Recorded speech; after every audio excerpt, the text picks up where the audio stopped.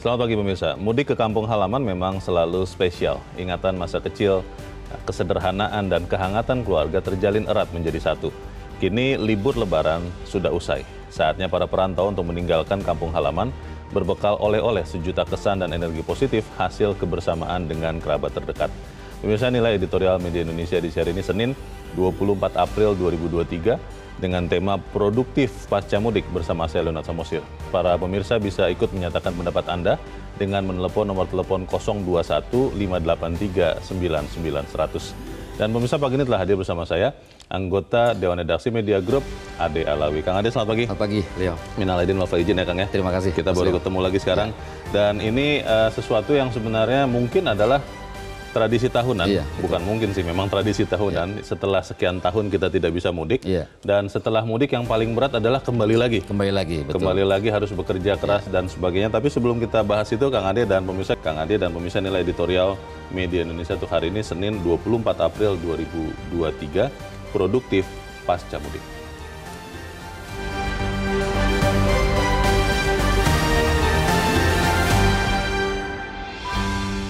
Produktif pasca mudik.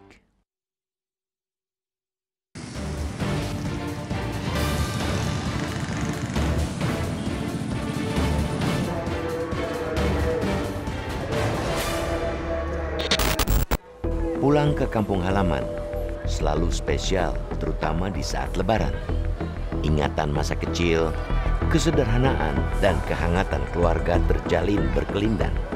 Bukan berlebihan ketika orang mengatakan bahwa kampung halaman adalah tempat semua cerita dimulai. Kini, libur lebaran telah usai. Saatnya para perantau meninggalkan kampung halaman. Berbekal oleh-oleh sejuta kesan dan energi positif. Hasil kebersamaan dengan kerabat dan handai tolan. Begitulah kehidupan. Ada pertemuan, ada perpisahan, ada mudik, ada pula balik.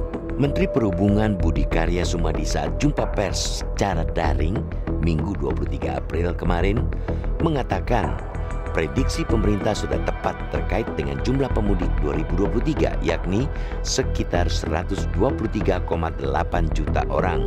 Secara bergelombang mereka akan balik ke tempat asal. Betapa luar biasanya ketika ratusan juta orang menyerap energi positif dari kampung halaman kemudian menularkan ke sesama di tempat mereka selama ini tinggal dan bekerja. Amat disayangkan manakala energi tersebut sia-sia, terbuang-buang saja, tidak ada gunanya. Alhasil, tidak ada alasan membolos bekerja dengan dalih masih di kampung atau kelelahan setelah mudik. Para perantau harus tahu bahwa bekerja keras sangat dibutuhkan Indonesia saat ini. Mereka harus menjalarkan energi positif bagi peningkatan produktivitas masyarakat. Suka tidak suka, harus diakui, Indonesia dari sisi produktivitas belum membanggakan. Japan External Trade Organization atau JETRO pada 2020 menyurvei 13.458 perusahaan di ASEAN termasuk 614 perusahaan di Indonesia ternyata produktivitas pabrik di negeri ini berada di posisi 7 Indonesia berada di bawah Filipina, Singapura, Thailand, Vietnam, Laos, dan Malaysia. Data lain juga bisa disodorkan untuk mengulas tentang lemahnya produktivitas Indonesia. Berdasarkan ASEAN Productivity Organization atau APO tahun 2020, Indonesia berada di urutan kelima di bawah Singapura, Brunei Darussalam, Malaysia, dan Thailand. Semangat dari kampung halaman itulah yang sedikit banyak diharapkan dapat mengubah data dan buram tersebut. Pulang dari liburan, semangat terdongkrak, bekerja lebih bergairah dan terarah, bergotong royong demi majunya Indonesia. Apalagi banyak agenda yang harus dikerjakan bersama-sama terutama dalam memulihkan ekonomi yang masih melambat sebagai dampak krisis global. Krisis ini membuat harga komoditas pangan dan energi menjadi gila-gilaan dan perlahan-lahan bergeser menggerogoti sektor keuangan. Sektor keuangan global menjadi terganggu imbas pengetatan kebijakan moneter di berbagai negara untuk meredam dampak krisis sebelumnya. Lantaran pandemi COVID-19 serta ketegangan geopolitik seperti perang Rusia-Ukraina. Itu semua membutuhkan kesadaran para pemudik untuk bersedia menjadi medium perubahan. Kesadaran memiliki peran sentral, ia penentu persepsi seseorang baik dalam cara memandang diri sendiri dan dunia. Tanpa kesadaran, yang terjadi malah bermalas-malasan sepulang liburan. Ini tentu tidak boleh terjadi. Selain aspek ekonomi, bangsa ini memiliki hajatan besar di bidang politik. Memang akan dilaksanakan tahun depan, tapi sudah hitungan bulan. 10 bulan lagi, tepatnya 14 Februari 2024 akan diselenggarakan pemilu presiden. Kosa kata persaingan akan menjadi lazim dikonsumsi hingga beberapa bulan ke depan. Bahkan, bukan mustahil bakal terjadi pembelahan kalau masyarakat lupa bahwa siapa pun yang nanti menjadi presiden dan wakil presiden ialah putra-putri terbaik bangsa.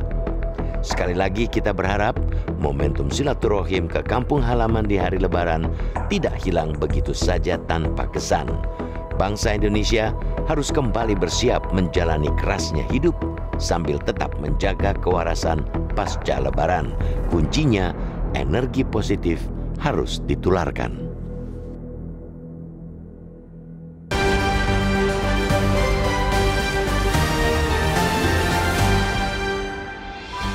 Di bagian berikut Anda bisa ikut menyatakan pendapat Anda terkait dengan editorial pagi ini. Pemirsa untuk saat ini tetaplah bersama kami.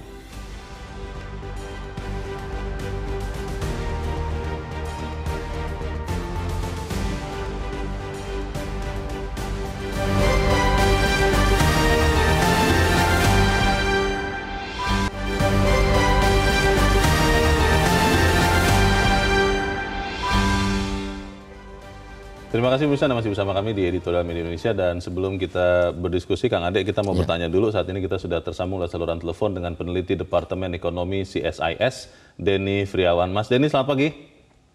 Selamat pagi Mas Riona, apa kabar? Ya, sehat-sehat Mas Denny, minal aidin wal faizin ya, mohon maaf lahir batin. Sama-sama Pak Mas Riona.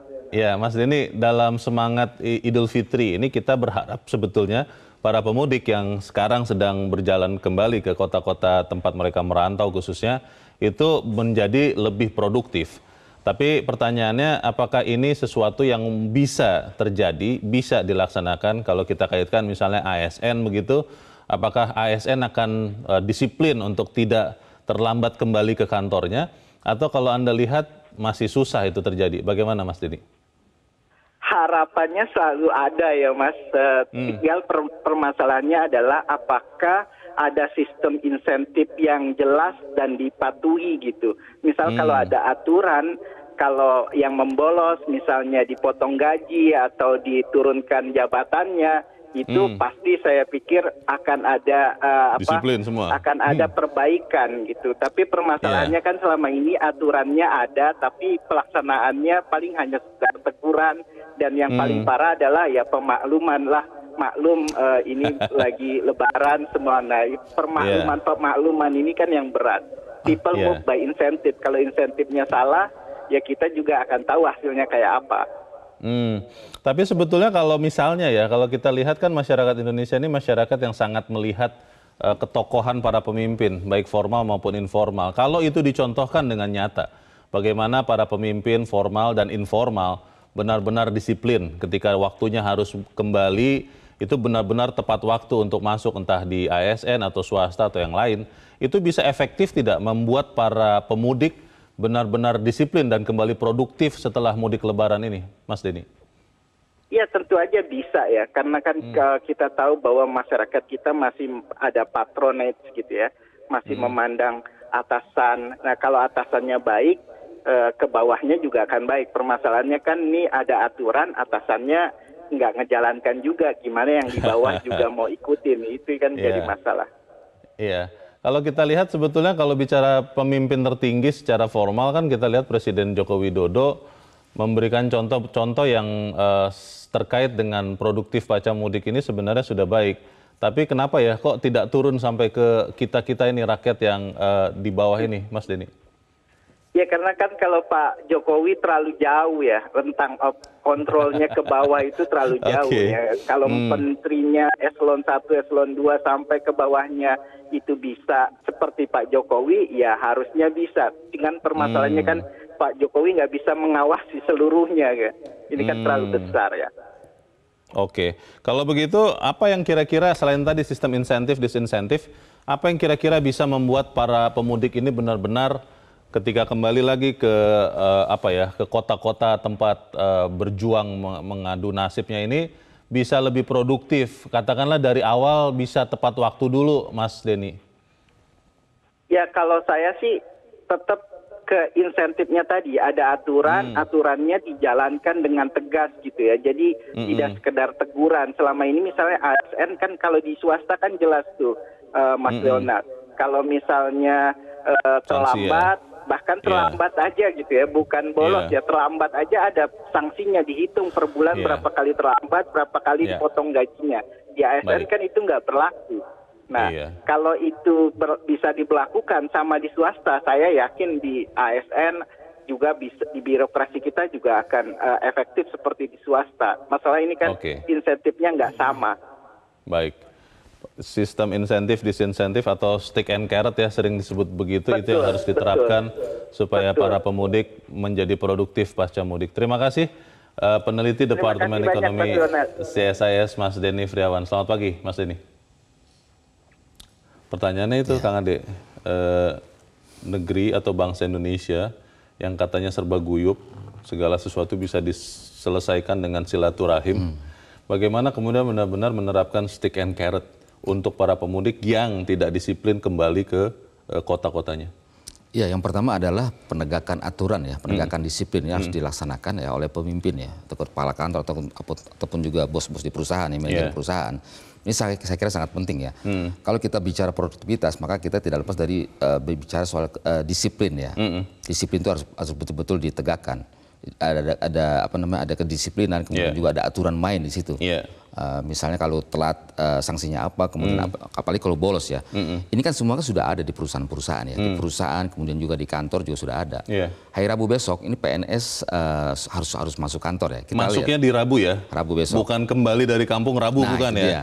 Bukan, bukan.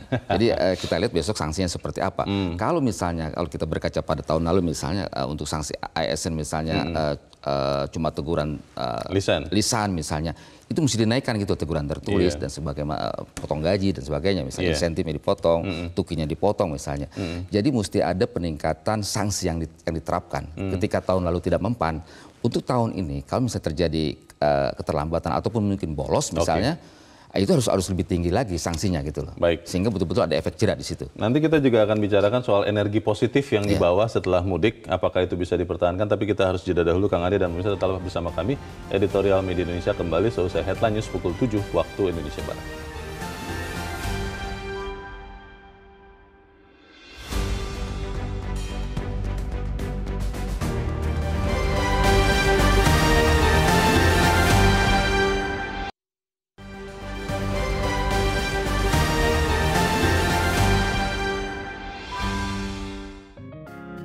Media Indonesia mengajak Anda untuk mengakses fitur premium e-paper. Dengan sajian konten berbasis intelektual dan meneguhkan kebangsaan, Media Indonesia tampil dengan lebih dinamis melalui e-paper Media Indonesia yang dapat Anda akses kapan saja, di mana saja. Caranya mudah, download aplikasi Media Indonesia di Android atau ketik link epaper.mediaindonesia.com atau bisa scan QR code pada layar kaca Anda. Klik tab e-paper di bagian samping layar tablet Anda daftarkan data diri, serta pilih paket perlangganan e-paper Media Indonesia sesuai dengan kebutuhan Anda. Nikmati juga bonus spesial tambahan 4 halaman rubrik fokus setiap hari. Semua bisa Anda dapatkan hanya di e-paper Media Indonesia. Untuk informasi lebih lanjut, hubungi customer service di nomor 0811 1201 2018 atau kunjungi media sosial at Media Indonesia. Media Indonesia, referensi bangsa. Terima kasih Anda masih bersama kami di Editorial Media Indonesia dan sekarang waktunya kita Kang Ade untuk mendengarkan juga pendapat dari pemirsa Metro TV. Kita saat ini sudah terhubung dengan pemirsa Metro TV di Bekasi, Jawa Barat. Ada Pak Ondo Silitonga. Pak Ondo, selamat pagi. pagi, Bung Leo. Selamat pagi, Bung Ade. Selamat pagi, Pak Ondo. Bagaimana Pak pendapat Anda produktif pasca mudik? Silakan Pak Ondo. Oke, pertama saya mengucapkan selamat Hari Raya Idul Fitri 1444 Hijriah. Minal aidin wal faizin. Minal aidin wal faizin, Oke. Ondo. Ya. Energi positif harus terjadi, baik di bidang ekonomi, sosial, budaya, politik, dan keamanan pasca hari kemenangan ini. Itu harapan kita ya. Ya. Kemudian etika etika positif pasca hari kemenangan ini harus benar-benar membuktikan kita semakin kuat, semakin produktif. Terutama para ASN. Jangan terbawa arus berleha-leha di kampung halaman, lupa tugas atas tugas-tugas negaranya. Eh, bagi ASN yang abai, saya mohon itu harus ada sanksi yang tegas. Jangan ada damai secara ke kekeluargaan atau dapat diselesaikan secara adat budaya yang sudah menjadi kebiasaan dari tahun ke tahun. Ya. Masih banyak agenda ke depan, terutama menjelang tahun politik. Semua itu harus membuktikan kesadaran anak bangsa agar kita benar-benar pasca hari kemenangan ini bisa menciptakan segala hal dalam hal positif, terutama dalam menjelang hari eh, politik ini kita harus tetap menjadi anak bangsa yang percaya bahwa negara telah bertindak yang baik untuk kita semua. Demikian, terima kasih. Terima kasih Pak Ondo Silitonga di Bekasi, Jawa Barat untuk pendapat Anda Pak. Selamat pagi. Di belakang Pak Ondo ada pemirsa Metro TV di Malang, Jawa Timur. Ada Mas Dani. Mas Dani selamat pagi. Selamat pagi Bang Leo, selamat pagi Kang Ade Alawi. Selamat pagi Mas Ya. Dani. Mohon maaf lahir dan batin. Mohon maaf lahir batin Mas Dani. Minal aidin wal faizin. Bagaimana pendapat Anda Mas? Kita bisa produktif pasca mudik tidak nih Mas Dani? Insya Allah bisa kalau revolusi mental benar-benar terjadi. Ini Iya. semata-mata masalah mental Bang Leo. Jadi nggak salah eh, di 10 tahun yang lalu Pak Jokowi sebelum jadi presiden itu selalu menggaungkan narasi revolusi mental. Karena Pak Jokowi memang paham betul mental Indonesia, mental orang-orang Indonesia ini mental-mental karet gitu. pandai berkelit, pandai ngeles, pandai membenarkan atau mempermaklumkan perbuatannya yang yang salah gitu ya. Itu itu Ya. yang yang sebenarnya ini masalah mental. Kalau masalah contoh dari tokoh-tokoh masyarakat atau dari pejabat itu sudah nggak kurang-kurang, Bang Leo. Dari zaman Pak Harto pun dulu Pak Harto juga sudah menggaungkan gerakan disiplin nasional kalau nggak salah ya dulu. Mm-mm. Terus juga ada lagi sebelumnya itu Bang Ali Sadikin, tokoh yang sangat saya kagumi itu eh, Gubernur Ya. DKI Jakarta itu kurang kurang keras, kurang saklek gimana memberikan contoh gitu loh. Nah, terus juga Pak Habibie sebagai menteri, Pak Mari Muhammad dulu sebagai menteri juga sangat lurus, sangat kenceng gitu loh. Nah, itu dan juga Pak Jokowi sendiri tentunya sebagai contoh yang sangat positif gitu loh. Tapi memang eh, apa namanya mental bangsa Indonesia sendiri pada umumnya itu kayaknya masih belum itu masih belum berubah gitu loh masih oh, suka menggampangkan permasalahan gitu loh Ya. Me- apa namanya masalah apa namanya menggampangkan permasalahan terus juga pintar Kalau- ngeles itu yang Kalau begitu Mas Dani, eh, bagaimana kita bisa mengangkat apa ya eh, etos hidup dari warga netizen plus 62 kita ini Mas Dani? Karena kalau kita melihat misalnya negara-negara maju ya, eh, Jepang, Korea, itu semangat kerja keras, kita tidak usah bilang negara Eropa lah karena kita mungkin terlalu jauh dari mereka. Itu semangat kerja keras itu ditanamkan dari sejak eh, kita lahir begitu sampai kemudian kita mati. Lalu Indonesia berhenti di kondisi seperti sekarang ini saja. Bagaimana menurut Anda, Mas Dani? solusi satu-satunya ya Hmm. ada di di bangsa Indonesia sendiri, ada di kita sendiri gitu loh. Kita semua ini bangsa Indonesia gitu, mau berubah atau enggak gitu loh. Hmm. Iya. Karena itu, itu tadi contoh-contoh tuh sudah nggak kurang-kurang gitu. Kita tuh sudah Hmm. pernah ditempa oleh pemerintahan yang otoriter, yang diktator, sampai Iya. pemerintahan yang liberal kayak gini, yang pemerintahan yang bebas, penuh kebebasan. Tapi ya mental kita ya tetap aja kayak gini-gini aja gitu loh. Hmm. Iya, iya. Gampang Mental banget aturan aturan itu ya istilahnya kayak macan kertas saja gitu ya. Nah Oke. itu yang yang saya heran itu orang Indonesia kalau tinggal di luar negeri itu disiplinnya disiplin. minta ampun. iya, disiplinnya Iya, iya, minta ampun tapi kalau begitu di negara sendiri kok seperti ini gitu ya. Oke. Gitu. Nah itu sebenarnya. Baik. Baik, kita eh, harus berbenah sendiri kalau begitu. Terima kasih untuk pendapat Anda, Mas Dani di Malang, Jawa Timur. Selamat pagi, Mas. Di belakang Mas Dani ada Pak John Veto di Batam, Kepulauan Riau. Pak John, selamat pagi. Selamat pagi, eh, Bung Leo. Selamat pagi, Mas Ade. Selamat pagi, Pak John. Silakan Pak pendapat Anda, Pak. Ya, pertama saya mengucapkan uh, uh, selamat Hari Raya Idul Fitri 144 ya, 44 Hijriah. Selamat Idul Fitri, Uh, Pak John. mohon maaf lahir batin. Mohon ya, maaf gini. lahir batin. Ya. Jadi begini, produktif pasca mudik ini. Mm-mm. Ini, Bung Rio, kalau kita runut beberapa tahun kebelakangan, ini ru- eh, apa rutinitas tiap tahun. Rutinitas, Eh, ya. Melelonya apa ASN ASN yang apa yang notabene pakai nik deh, yang pulang itu lebaran itu pasti ada aja alasan. Bisa aja mulai kita tengok nanti tanggal 25 26 mulai kita tengok. Ya. Hmm. Banyak yang yang apa yang Bablas. tidak tidak patuh lah dengan aturan. Tidak patuh, oke. Tidak, tidak taat. Nah, Ya. Boleh kita buktikannya nanti. Kan nanti akan banyak sidak-sidak tuh. Hmm. Padahal pemerintah sudah mengasih berapa hari libur kan. Iya. Jadi ini ada aja nanti alasannya nih. Yang macet Iya. di jalan lah, yang bahan bakar payah dapat lah. Alasan tidak pernah iya, habis ya? mental mental Iya. apa apa kita uh, Oke. masyarakat kita yang udah begitu. Mm-mm. Ya, entah bagaimana cara format formulanya yang bisa mencari apanya uh, solusinya itu. Nah, kita harus bangga juga dengan TNI Polri. Coba tengok Ya. Polri, lebaran ini tak ada dia pulang, tak ada satu orang pun cuti. Oke. Kita bangga juga dengan mereka-mereka. Cuma ini ASN yang dikasih panjang apa libur mana balik ini tak akan produktif, yakin betul. Oke. saya. Kita buktikan Oke. aja nanti. Itu aja. Baik. Terima kasih. Terima kasih Pak John Veto di Batang Pulau Riau untuk pendapat Anda Pak. Selamat pagi. Kang Ade ini Ya. kalau kita lihat kalau misalnya kita bicara soal eh, disiplin dulu ya. Bagaimana eh, bukan hanya ASN tentunya pegawai swasta juga atau pengusaha yang be- bekerja sendiri itu kan harusnya eh, punya sikap mental disiplin. Tadi beberapa pemirsa khususnya Mas Dani mengatakan ini masalah mental nih. Mental ini kan bukan masalah satu tahun, dua tahun, 10 tahun, 20 tahun. Apakah kemudian memang benar bahwa mental bangsa kita ini mental eh, ada yang mengatakan bangsa tempe katanya begitu, Kang Ade.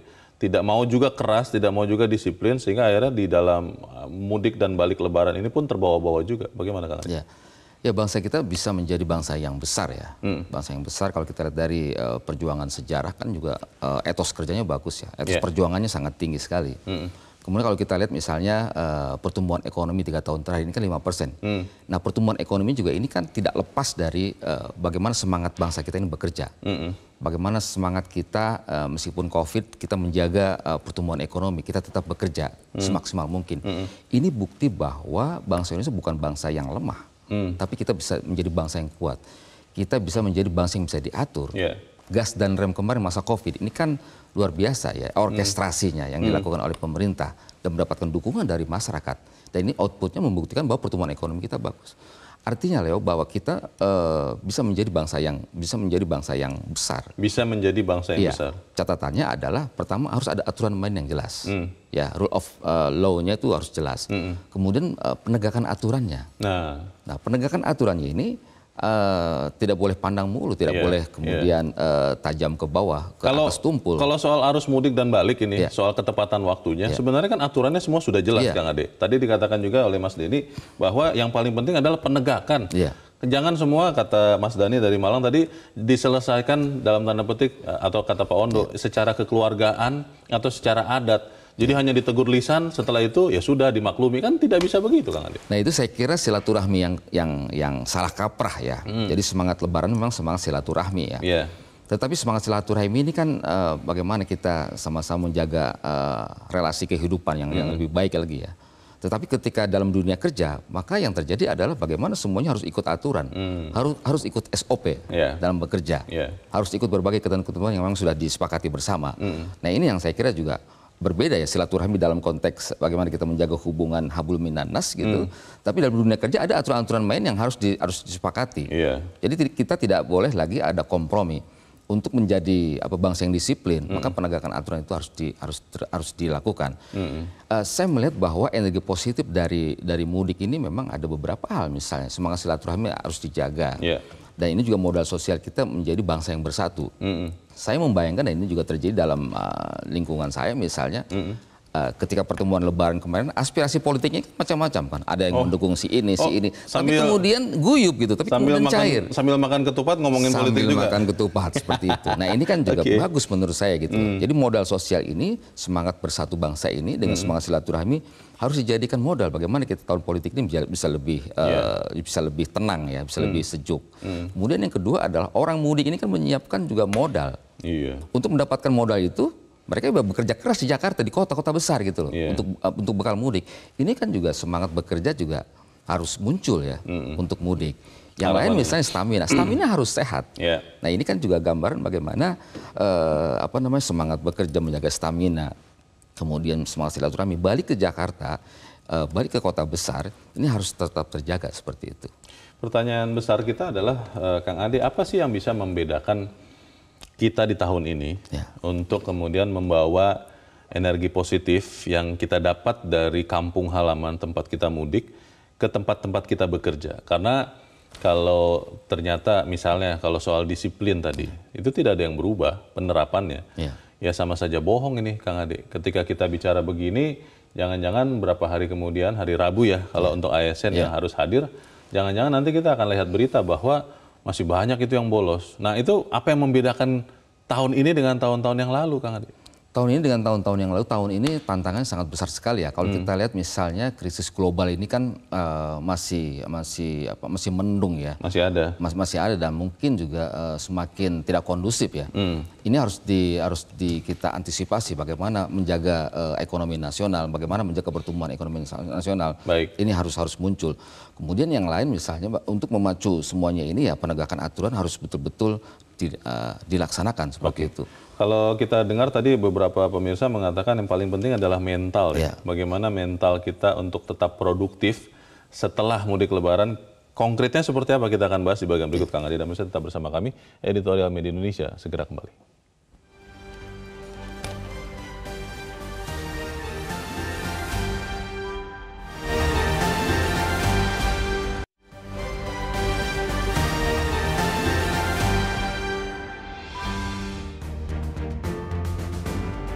Terima kasih pemirsa Anda masih bersama kami di Editorial Media Indonesia dan kita ada di bagian akhir diskusi kita pagi ini. Kang Ade, kalau saya berkaca dari kedisiplinan para pemudik yang menyeberang di Merak Bakauheni, itu dikatakan tahun ini tuh luar biasa berubah. Tahun lalu yang menggunakan sistem daring, aplikasi untuk memesan tiket itu hanya sekitar 20 persen.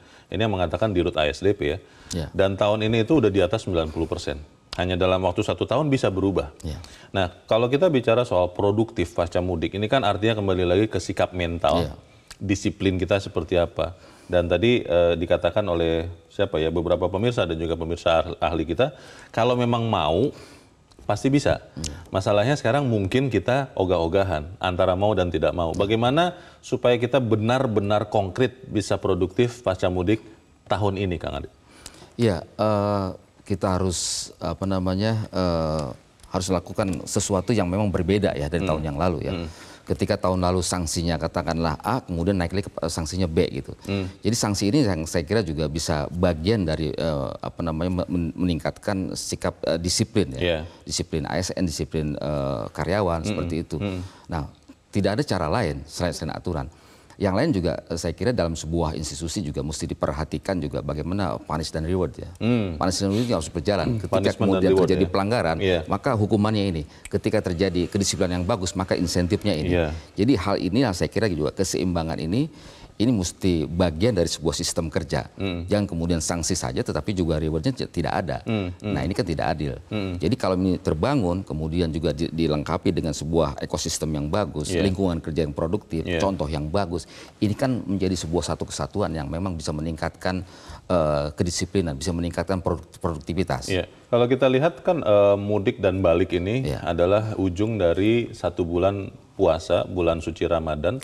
Bagaimana kita menahan diri, eh, menahan hawa nafsu untuk menjadi lebih baik, kembali ke fitrahnya kan, menjadi fitri. Pertanyaannya Kang Ade, apakah kemudian sikap semangat yang kita dapat di hari kemenangan Idul Fitri ini benar-benar kita bisa bawa setelah kita mudik recharging jiwa kita? Itu benar-benar kita pakai semangat positif itu di tempat kerja sekarang? Atau jangan-jangan semangat positif itu juga tertinggal di kampung halaman tempat kita mudik dan kita kembali lagi ke kondisi kita sebelum bulan Ramadan dan sebelum Idul Fitri, Kang Adi. Ya, uh, sikap mental ataupun juga nilai-nilai Ramadan yang kita dapatkan kemarin hmm. itu harus tetap terjaga ya. Hmm. Kalau dalam bahasanya Imam Besar Masjid Istiqlal bahwa kesalehan dari Ramadan itu harus paripurna. Paripurna hmm. dalam arti saleh secara ritual juga saleh secara sosial. Yeah. Jadi kalau misalnya hanya saleh secara ritual, hanya ibadah saja kemudian secara sosial juga secara sosial misalnya bermasalah atau kacau, hmm. itu belum bisa dikatakan orang yang takwa. Hmm. Jadi oleh karena itu Eh, dua hal ini saleh sosial dan saleh secara ritual harus dibawa ke tempat kerja. Betul. Tapi ini juga tidak serta merta itu hadir, hmm. harus diciptakan sebuah lingkungan yang memang mendukung hmm. uh, sikap apa sistem namanya itu tadi sistem ya? itu terjadi gitu. Yeah. Ketakwaan itu terjadi dalam dunia kerja. Seperti tadi kata Mas Dani ya, orang Indonesia WNI itu yang cenderung tidak disiplin ketika keluar negeri itu biasanya jadi disiplin yeah. karena dipaksa keadaan di sana, sistem di sana, walaupun nanti lucunya setelah kembali ke Indonesia suka lupa lagi yeah. tuh. Bagaimana memastikan supaya kita tidak lupa dengan hal-hal baik di bulan suci Ramadan itu seperti apa Kang Adi?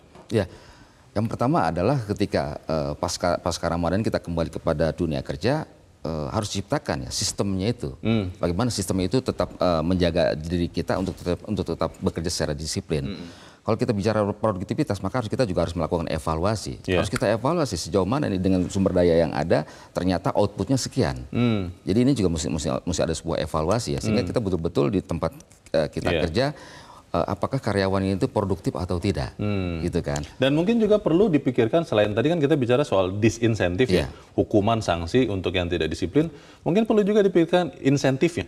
Ya betul. Kalau untuk orang-orang yang disiplin. Ya, saya kira harus, harus seperti itu. Meskipun hmm. memang disiplin ini kan merupakan sebuah kewajiban ya. Yeah. Memang seharusnya itu terjadi. Yeah. Tapi ketika misalnya seorang karyawan ataupun juga ASN yang kedisiplinannya yeah. beyond gitu, yeah. lebih standar, ini saya kira juga harus, harus diapresiasi. Gitu. Betul. Apresiasi itu kan tidak harus berbentuk natura atau Betul. uang atau yang lain ya. Ketika kita apresiasi dengan perkataan itu yeah. juga sesuatu yang baik-baik. Kita harapkan kita benar-benar bisa produktif baca mudik. Kang Ade Alawi, terima kasih sudah hadir tempat ini. Selamat pagi, Kang. Terima kasih, Leo.